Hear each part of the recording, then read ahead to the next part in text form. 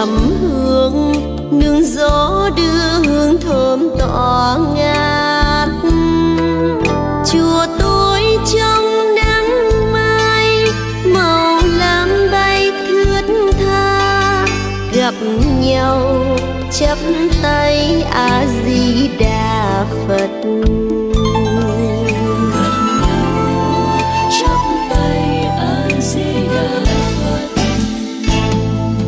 Đêm trăng rằm vàng chiều lung linh ngàn đại sen tỏ sáng dưới bóng từ bi.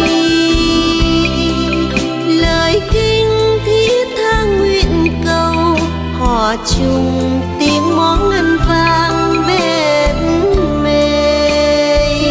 Bờ giác quay về chẳng sao tỏ ràng thiên muốn niết bàn.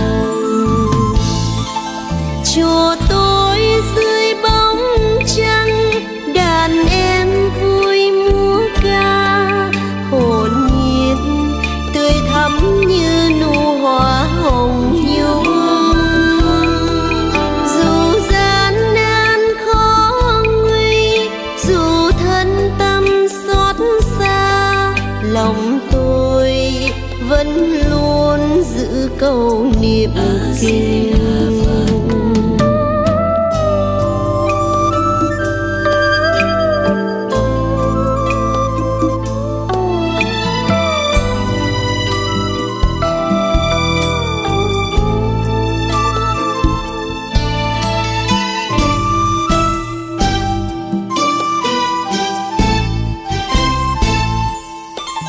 dòng sông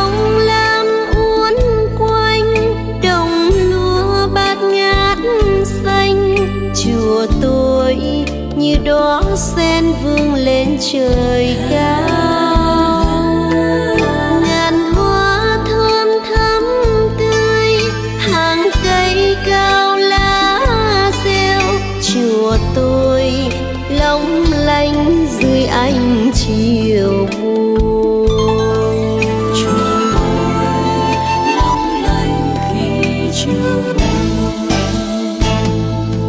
Tiếng chuông chùa trầm lắng đem bao nguồn an vui, hạnh phúc trong cõi trần ai. Chúa như ánh dương soi đường, lửa thiêng sưởi ấm nơi nơi, pháp luân dưới ánh đạo vàng chúng sanh giác ngộ từ quán khơi lòng.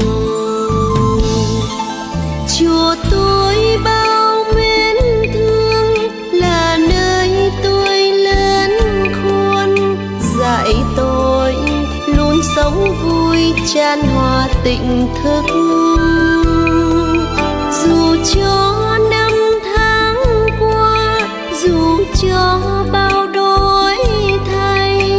lòng tôi vẫn luôn nhớ mãi chùa xưa chùa tôi